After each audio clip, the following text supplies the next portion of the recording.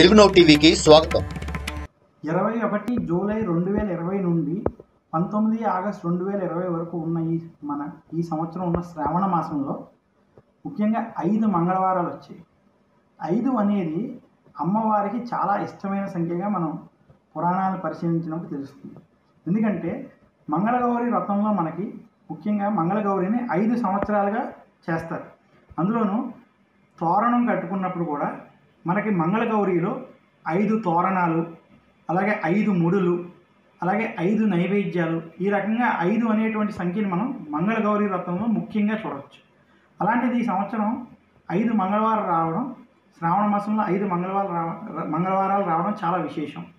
ముఖ్యంగా వ్రత్యతే ఆనేన ఇతి వ్రతం. అంటే వ్రతం అనేది ముఖ్యంగా మనకి ఏ వ్రతం చేసుకున్నప్పటికీ కూడా వ్రతంలో ఒక నిష్ట అనేది ఉంటుంది. ముఖ్యంగా వ్రతంలో మనకి ఎక్కువ చూసేది ఏంటంటే వ్రత విషయానికి వచ్చేటప్పటికి ఒక కంకణ ధారణ ఉంటుంది.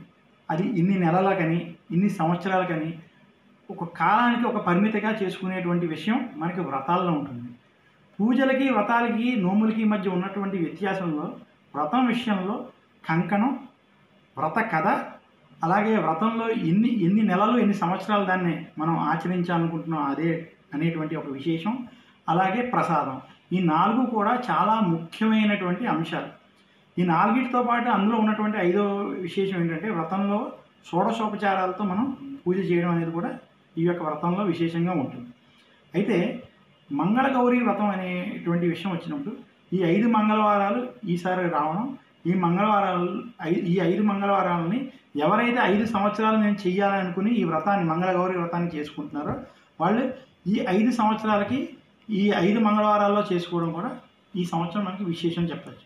అయితే మంగళగౌరిని అసలు ఎవరు చేసుకోకూడదంటే ఎవరికైనా ఏదైనా మంగళవారం ఇబ్బంది వచ్చిన వాళ్ళు అలాగే సంవత్సరాలు ఎవరైనా ఇంట్లో ఎవరైనా చనిపోయినటువంటి వాళ్ళు అలాంటివి ఉన్నప్పుడు మాత్రం ఈ సంవత్సరాన్ని మనం తొలగించుకొని తర్వాత సంవత్సరం నుంచి దాన్ని మనం కంటిన్యూ చేసుకోవచ్చు. మంగళగౌరి వ్రతాన్ని ముఖ్యంగా ఇబ్బంది వచ్చినటువంటి వాళ్ళు చేసుకోకపోవడం మంచిది. అది ఎలాగంటే ఇంటిలో కనుక ఎవరైనా కాలం చేసినప్పుడు ఆ సంవత్సరం మంగళగౌరి చేసుకోకూడదు. అదేవిధంగా గర్భవతి అయిన స్త్రీలు మూడు నెలల తర్వాత వాళ్ళు గర్భం దాచి మూడో నెల కనుక దాటినట్లయితే ఆ సంవత్సరం వాళ్ళు మంగళగౌరి చేసుకో చేసుకోవాల్సిన పరిస్థితులు ఉండదు. ఎందుకంటే ఆ సంవత్సరం వాళ్ళు చేసుకోవాల్సిన పని లేదు. వాళ్ళు తర్వాత సంవత్సరం నుంచి ఈ మంగళగౌరిని చేసుకోవచ్చు. చాలామంది కొన్ని చోట్ల ఐదు సంవత్సరాలు వాళ్ళ మంగళగౌరి అయిపోయినా కూడా కొంతమంది పది సంవత్సరాలు కూడా మంగళగౌరి చేసుకుంటూ ఉంటారు.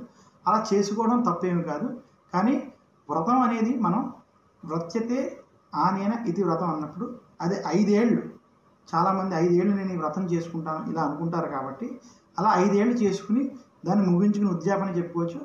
కాదని క- కాదని ఇంకొంచెం ముం- ఇంకా ఎక్కువ సంవత్సరాలు వాళ్ళు చేసుకున్నా అందులో ఎలాంటి దోషము లేదు. కానీ జనరల్ మామూలుగా ఐదు సంవత్సరాలు మంగళగౌరి వ్రతాన్ని చేసుకోవడం అనేది మనకి పూర్వం నుంచి వస్తున్నటువంటి ఆచార వ్యవహారాల్లో ఉన్నది.